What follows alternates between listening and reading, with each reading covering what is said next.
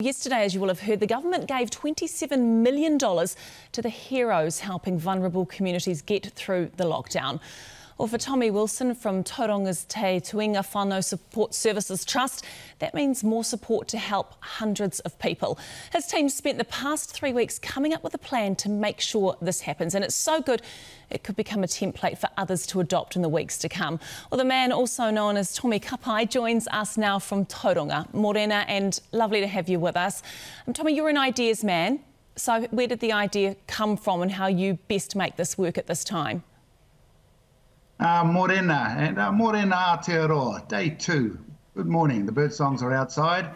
Um, where did this idea come from? I guess we've we've been in the uh, uh, you know sprinkling the joy but business for a while. So the Happy Puku has been around for about a year and a half. We have 117 families that we look after down here, and uh, so this is just an extension of what we've already been doing. Um, because we know that a happy puku meal is never just a, a meal, it's a, a, plate of hope and it's a message that someone cares. So you know, you can still stay in your bubble, stay out of your trouble, and uh, start uh, spreading a, a, bit of joy on a plate of kai.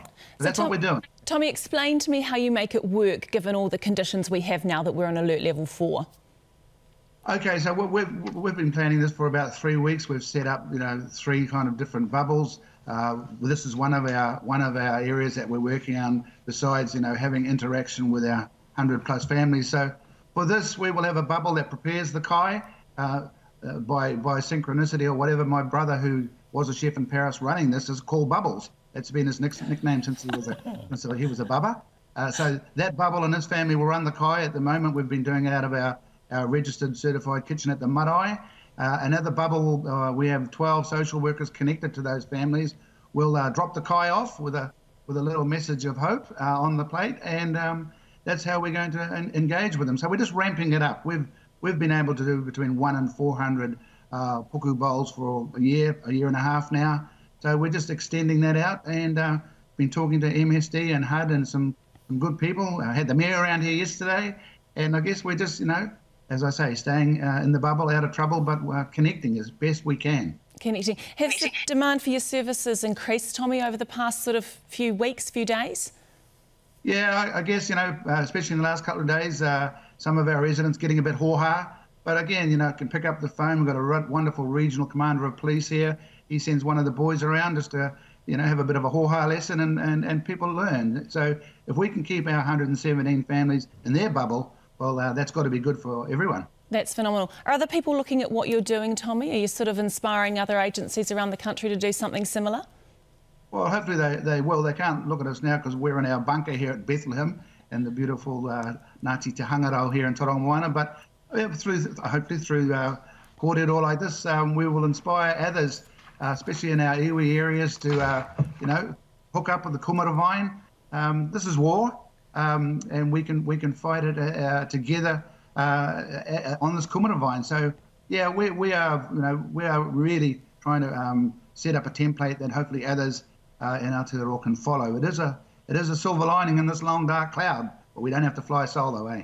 Tommy, your positivity, I think, is just wonderful. I mean, some of the families that you, you're dealing with, they are incredibly vulnerable. This is a tough time for everyone, but it is a particularly tough time for some of those families. What are the ways can they be supported through this? That's right. You know, they don't have a car. Um, they can't just uh, toddle off to the supermarket. Um, I think there are, you know, it's almost like whāngaing, or we say whāngai in Māori, where you adopt a family. You know, I think we're all capable of whāngaiing a family and uh, just having their having their cell phone because we, we, we put cell phones, little cheap ones, into all of these uh, 117 plus homes so they can stay connected to us. I think that's the key. If people can stay connected, uh, they don't get so hoha and they know someone that cares. So we are all uh, have the ability in Aotearoa to whāngai a family. So that's something that I'll, I'll, put out there in the Kumara Vine. That's brilliant. So if people are watching this now and they realise that when so much is taken for us, a lot of us are very, very fortunate, how can people actually go to help? Where can people go to find a way to help other families that might need it? Okay, well, for us, we've been, um, over the last two days, uh, recruiting staff. I mean, uh, especially those in the hospitality industry, industry that could help us, uh, uh be it in the kitchen or you know, I'm, I'm, sure there are other restaurants out there that are closed that could do something similar uh, uh, and create a, a, a happy puku. uh, for those in their area because kai is a great connector, eh? So I, I think it's a template that's not too uh, not too hard for others to uh, replicate. You know, uh, when we, have got a closed Facebook page with our neighbourhood here, um, I'm sure we can come up with wonderful ideas. This is know, everyone can learn the Māori uh, uh, alphabet in about 24 days, so we're up to Rua already. So, hey, we'll all be fluent in Te Reo Māori in 24 days. That'll be cool. Uh, Tommy, thank you so much for being with us this morning. Your, um, your enthusiasm, your positivity, it is, it is wonderful at a time like this. Thank you, everybody. Thank you, our healthcare workers, and thank you, our Prime Minister. You're a cool leader, bro. We're with you. Um, a quick shout out too, because normally city missions and people who do the kind of work what yeah. Tommy does uh, rely on donations, right? So the city mission, which is just a 400 metres up the road from mm. us, people turn up with hundreds of cans or whatever. Yes, None of, of that's happening at the moment no. because you can't go and visit those places. So donations, if you've got money to give to people who are doing that kind yes, of work, yes, brilliant. Now is the time to do mm. it.